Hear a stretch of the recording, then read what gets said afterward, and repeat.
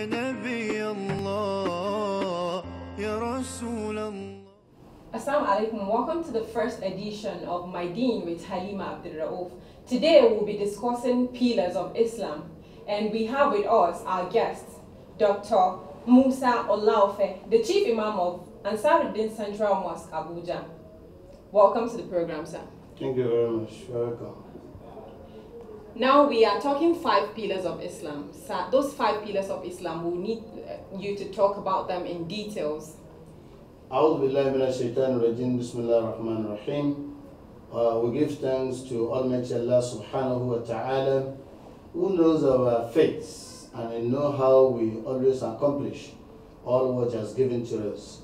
Uh, today we want to discuss about the, the five pillars of Islam. The five pillars of Islam are very known to many of us, even including the children in nursery and primary schools. Shahada to Allah ilaha illallah wa anna Muhammad Rasulullah wa iqam al-salat wa itahu al-zakat wa sum al-ramadan wa hajju al-bayti liman istata'a ilayhin sabila. to la ilaha illallah, that is to believe that, to bear witness that Allah alone is the creator of the heavens and the earth he is our creator He knows us better He has been giving us everything in abundance He has been taking care of us then, He Iqam salat, that is to observe our prayers regularly. Wa itaw zakat, giving us zakat when it is due. Wa sum Ramadan, fasting in the month of Ramadan. And wa hajjul bayt liman istata'a ilayhi sabila. So to perform holy pilgrimage to the to Mecca and Medina for those who have the capability of doing so. Those are the five pillars of Islam. Okay, now let's go into details, more details about it. There are rules and regulations, or let me say guiding principles in Islam. For if you declare that you are a Muslim, you have to have faith. That's the Shahada, that's the first thing you're going to do. On that Shahada, for a non-Muslim that's just um, coming into the deen, um, how do they, how do you get convinced that they've said the Shahada, and when they say the Shahada, what is the next thing to do for them? Well, the Shahada is to proclaim that no other person except Almighty Allah. That is La ilaha illallah Muhammadur Rasulullah. Having believed in Allah, that you have already proclaimed that this is the Shahada, then you will not associate partners with Allah. You will not do things that will get him angry. You have to believe in him. He, he sees all of us, even if you cannot see him. أن تعبد الله كأنك تراه فإن لم تكن تراه فإنه يراك that is to believe that in Allah that as we see him even when we don't see him we should believe that he sees all of us so the shahada is very very simple but very hard to comprehend because if you say shahada is not something you just say try your mouth and say it and just leave it like that You just have to work with it. Allah is one. He beget not, now he begotten, everlasting, the clement, the evolver, the cherisher, the one of today, the one of yesterday, the one that will be there forever. He begot not and he begotten, and there's no one like him. Having that belief, you know that you believe that nothing can touch your faith. And that's why Allah says, Udkhulu fi silmi kafa, wa la tatabihun khutwatan shaitan, innahu lakum aduwwun mubin. Islam we are discussing about enter perfectly into the religion. وَلَا تَتَّبِعُوا خُطُوَاتِ الشَّيْطَانِ Do not follow the footstep of shaitan, because to you shaitan is a great enemy, plain enemy. So once you believe in Allah, believe in Allah in totality. If anything comes your way, is Allah. وَمَا تَسْكُتُ مِنْ وَرَقَةٍ إِلَّا يَعْلَمُهَا No leaf shall fall without knowledge of Almighty Allah. Nothing will happen without knowledge of Almighty Allah. Your existence is Allah. Your life is Allah. The day you came is Allah. The day you are going back is Allah. When you see is Allah. If you don't see is Allah. If He has given it to you is Allah. And that is why having that authentic belief in Almighty Allah, everything will be very neat and very easy in your life. And that's why He said, وَمَنْ يَتَكِ اللَّهَ Anybody that have the fear of Allah in mind, يَجْعَلْ لَهُ مَخْرَجًا He will open ways for him. وَيَرْزُقُهُ مِنْ عَيْسُ لَا يَكْتَسِبُ And then you provide for him places could in places that you could never imagine. And these are the things that any Muslim brothers or sisters, any Muslim ummah, having proclaimed that shahada, then you stand by it, then you start working with it, and then discuss your limits. Yes. Um, let's take a short break. When we return, um, we are going to talk more on the five pillars of Islam. We are on the number one, which is the Shahada, the most important part of the five pillars of Islam. Because without Shahada, you, you are not a Muslim. Without Shahada, you can't regard yourself as one. السلام عليك يا حبيبي يا نبي الله يا رسول الله Welcome back to My Deen, a program that brings you Islamic scholars, clerics, and would discuss in details Islam as a religion and the rules and principles that are guiding um, every Muslim ummah in, around the world. Sir, we stopped at Shahada, that's the first pillar of Islam. Let's go into the next one, which is Salat. Salat is very broad, so just give us details about Salat. Then, as we are all aware, that uh, prayer is very, very important, and that is salat. Salat, there are so many things you can call salat. Okay, Number one, when you stand to observe prayer, yes, is what we call salat. yes, Even when you wake up at night to do nafila, it's still salat. yes.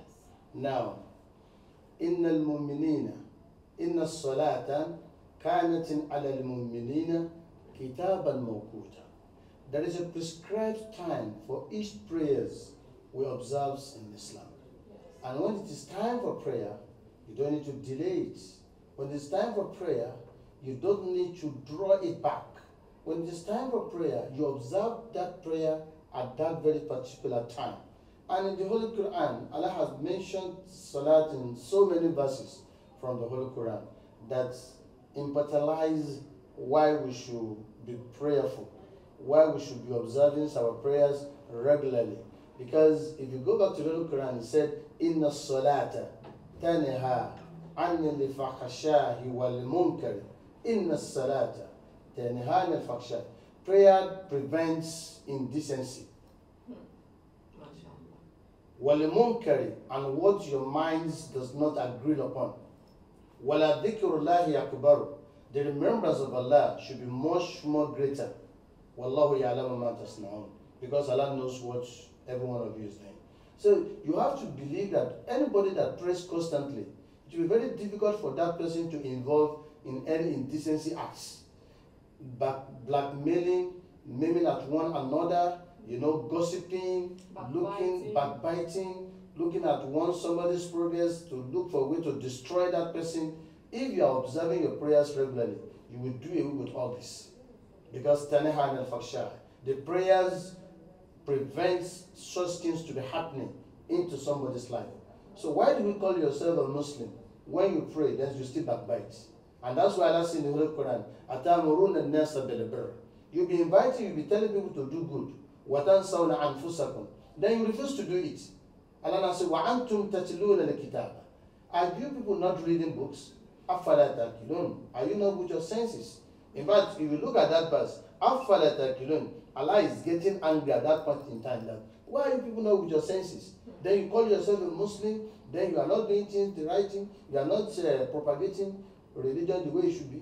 You are in office, then you are wishhunting people, you are in office, then you make life so unbearable to people as if you are the alphas and omegas of this world.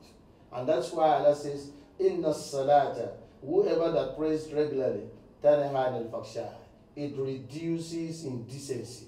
It reduces all sort of uh, bad things that can happen to anybody's life. Okay, so this salat, there are, you said earlier that there are guiding principles to this salat. Now, these guiding principles, I'm sure that before you perform salat, you have to perform ablution. And that ablution, there are rules too to ablution. Can we have details about ablution? When your ablution is broken, how many times are you to reperform the ablution after the first time when you perform the proper ablution? And if um, you you eventually finish performing the ablution the third time because i'm aware that after third time that's when you're supposed to continue with your salah uh, maybe you are um, having there's an ailment that will not allow you to stay with um, goes, um, um what do you call it um, with um, ablution for a long time so how many times are you meant to re-perform ablution, and then what breaks your pray, um, salat? Then you see, la salatan liman la wudu'a lahu. Prophet says there is no prayer for anybody who doesn't have ablution. Yeah. Now, if there are things, events that occur and reoccurring, that when you perform ablution, even when you are performing, it has to be broken. You keep on performing. Then, if you do it one, two, three, then you go on, you keep on with your prayers Okay. because it is not intentional. Yes. And when you are praying and something like that happened, that maybe you pollute air, then that ablution has already broken. Yeah. Then you go and perform. Again. Apart from those that we know that uh, there are some things they have to be is happening to them like that. If they do it one, two, three times, then they will continue with their prayers. Allah will accept that prayer. But when you are praying now, you're already on your prayer. You now pollute air. Then that ablution has already broken. Yeah. Then you go and perform ablution again Yeah. and come back and start all over. Yeah. That is that's your your prayer. So it is very very important for anybody that want to perform prayer or to observe prayer to perform ablution. Yes. And there are two ways of ablutions. We have water ablution and we have Sand ablution, and that is tayammum. Yes. Tayammum is whereby you are unable to see water. Maybe you are in a desert in a desert area. and you must pray. Then you perform tayammum. Okay. Then where you are, there is water. It is not just any water. Clean water that is water. not that is clean. That is not being the, the color has not changed. Nothing has ever destroyed the water. Very clean, well water, tap water, and uh, and some other things. You know that this is uh, this is very good, conducive, and doesn't have any taste. Then you use it to perform ablution. So with that, then your prayer will stand very very well. Then you keep on praying. Okay, now I'm trying to understand. Um, I would like our viewers to really understand clearly um, in the aspect of when your ab- ablution got broken. You said there are people with maybe ailment or something or a situation that wouldn't allow their uh, ablution to stay up to maybe five minutes or ten minutes. They need to uh, say their salat. Those are the people that would perform ablution three times. After three times, they can carry on with their prayers. What about people that are normal people? uh, and their ablution maybe they keep polluting maybe they are not sick but they are normal people they are not sick like there is a state of health that's making the, their ablution not stay they are not sick and they keep polluting maybe they ate something that disrupts their stomach and they kept uh, yeah, they are the same category. Are you getting it Okay. now? If it happens like that, and their intention is to obs- observe that prayer, then after three times of performing that ablution, then they will continue because it was not intentional. okay It becomes daruriya, Okay. conditionality. okay Are you getting it now? Yes. Then they will continue with their prayers, and then they, you just have to watch what they are eating. okay Some people, when they take uh, beans, it can make them to be doing that. Are you getting it Yes. now? Then you don't need to take beans during the day. Maybe when you're about to go and sleep, you can take it if it's conducive for you, so that you'll not be allowing your uh, ablution to be broken all the time. Okay. So you, you, there are so many other things that can even break your ablution. For example, now you are praying. Are you getting it now? Yes. Then you you've done the takbirat al-ihram, that is Allah. Akbar. Then you start talking. yes So that prayer is already broken. Yes. Then you have to go and perform Ablution. Then I'll start all over again. Because your mind must be there where you are praying. Let your mind be there straight. And then you you keep on doing it. Okay. Sometimes during this salat, there are distractions. Maybe parents that have young kids, Mm. or um, something happened and people come to um, ask you for help or something, and you are within the prayers. Especially the nursing mothers, and your child cries or the boy comes to the front of where you're praying. Is there any penalty, or um, do they have to stop and start all over the prayer? You see, when you are praying and distraction comes, you continue with your prayers Yeah. until when that distractions become so dangerous. Okay. For example, now when you are praying and you know that the television was about to to Fall. to fall on the baby, Yeah. then you can stop. You can cut that prayer to prevent to protect the life of that uh, Baby. of that baby. Yeah. But if it's just noising here and there, you don't mind. Then continue doing your prayers. Prayers. By the time you say Salaam alaikum wa rahmatullah, you do the salama. Then you can go and meet them and instruct them that why are you making noise? I know that people are praying here. So you, their noise outside does not prevent you from cutting your prayers or stop your prayer. So it is when you see something very dangerous. It is, for example, when you are praying and you see a snake coming your way, Yeah. So instead of you to continue praying, then you break, you, you stop that prayer Yeah. to kill that snake to prevent, to protect your life. Because biting if you say that and you say nothing happens to you, then many things can happen. Yeah. So that is why you say that uh, there are a lot of distractions. And if you see that when you are praying and people used to pass, you can put some things barrier in front so that whoever that goes, they will not destroy that prayer, Prayer in you. which you in which you are. Okay, I've, um, sometimes I've observed that when you're in a mosque, some people, I don't know, maybe they don't have adequate knowledge of the religion, of the deen, or there is something, or they are just um, careless. They know that someone is praying, and though the mosque um, might have um, a bit of lines that say this is where you stop or something for the next person to stand to pray, but people won't even be careful about that. They will come and pass in front of someone that's praying. What's the penalty for such people You that see- pass like they are kafirs? Yes, when you are praying and you see them passing, Yeah. you still have the right to stop them while you are praying. Just Okay. just say you Use do your your hands hand. like this, then they will understand. But before that, even you yourself that you are praying, you know that people can pass, then you put a barrier. Okay. That barrier is very, very important.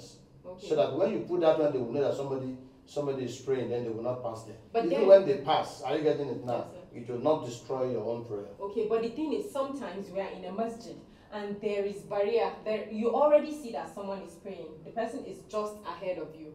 Why do you need to pass through that person's front? Sometimes I feel it's intentional. You do- What if it's intentional? What's um, penalty or what is the um, law that, that says okay, this person should be penalized like this because they- Nobody, see, nobody will penalize them. The only thing you can do as you that you are praying, just prevent them from by raising your hands like this to push them a bit. okay Then they will know that you are praying. okay is he is can he be called like a sin? It's not a sin. Okay. Maybe they don't know. Okay Maybe, maybe, maybe they, don't, they, they don't know. By the time you do that, you are teaching them. Okay. So that person will have to be very careful next Next time. time. That okay, when you are praying, don't pass in front of the person that is leading prayer. Then they will pass another place. Okay. Now, still on Salat, um, there are rules that guide um, Muslim Ummah that on a sojourn or they are journeying somewhere, and they it depends on the long hours of the journey or where they will be, uh, or how long they are going to be in that place or something like that. There is what is called kasr. Yes. Okay, how is kasr um, applied to people journeying and um, who and who is eligible to do kasr and who is not eligible to do kasr? Everybody is eligible to perform kasar. Okay. For example, now you are traveling from here to Lagos Okay. by road. Yes. Are you getting it now? Anywhere your car stops to for prayer, you perform kasar. Yes. When you get to Lagos, you perform kasar throughout that day.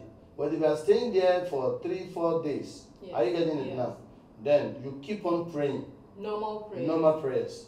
But if you know that okay, you are leaving Lagos today, after when you arrive Lagos today, Yeah. then you are traveling tomorrow, you continue with your. Kasar. Okay. So until you return back, Back. to your destination, Before then you pray continue normal with normal salats. Yeah, but I've seen situations where um, people that are joining, for instance, I ha- I used to have a colleague that um, his family are in Kano and is it, it was now not really transferred. It was supposed to be out of station work.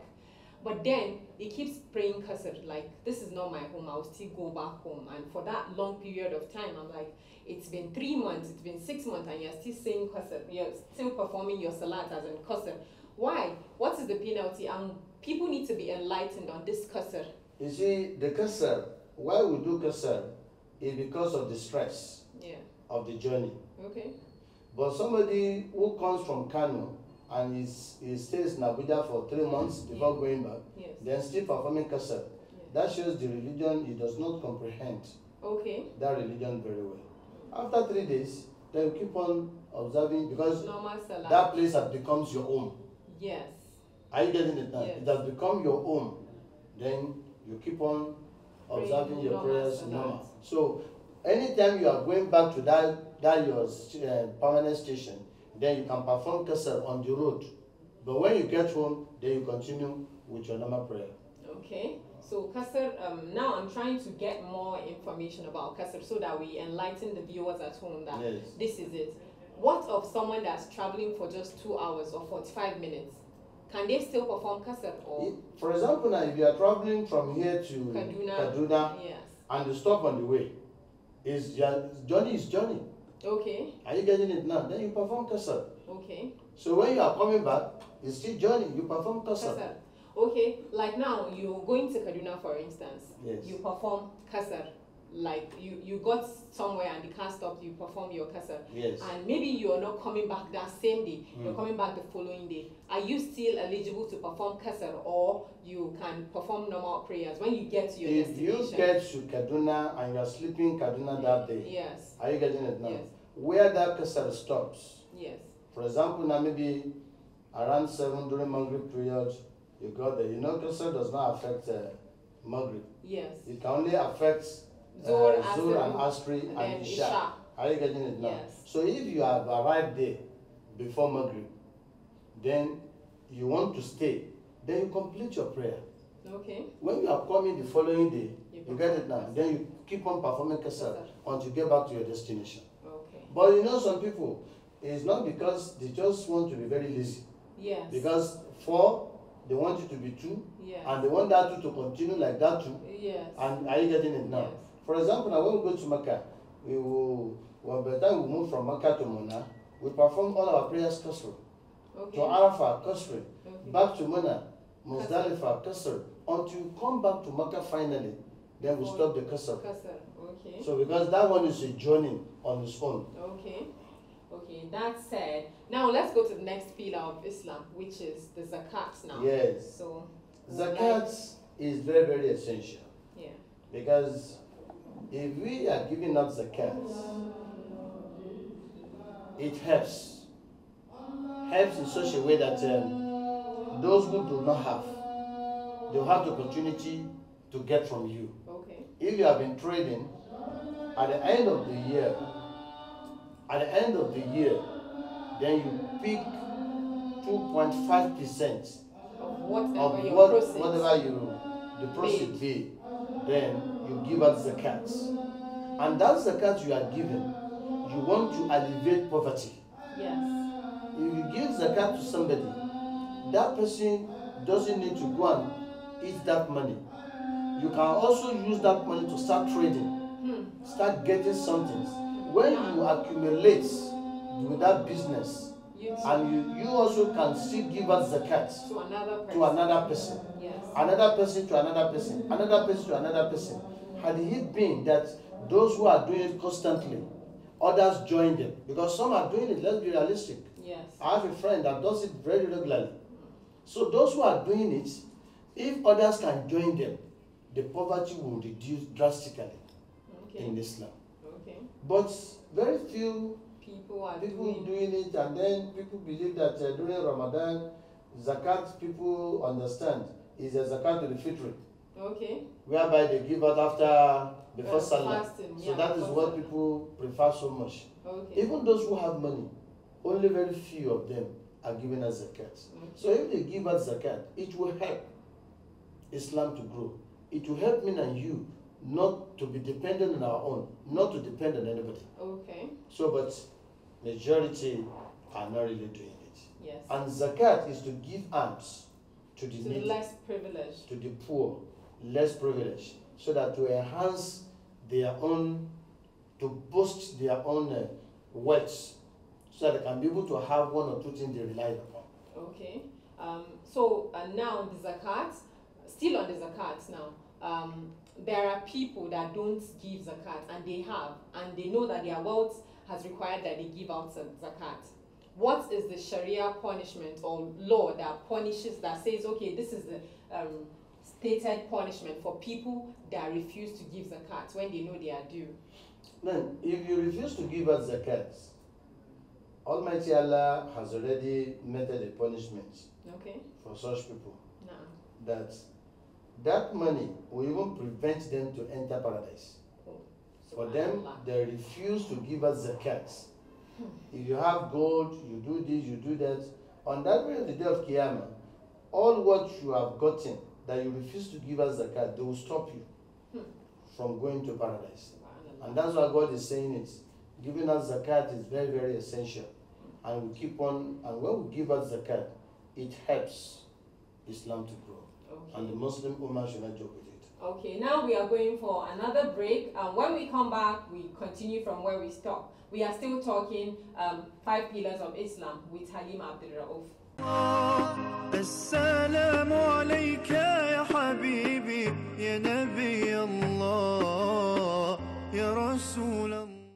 Welcome back to this program my Deen. Now let's continue from where we stopped, um, Madam. Um, we are talking five pillars of Islam and now we've gotten to uh, Ramadan. So what are the injunctions of Ramadan? Ramadan is fasting that comes every blessed year. But there's a month for it, we call it the month of Ramadan. Every Muslim who is mature, sane, who is capable and healthy should fast during the month of Ramadan.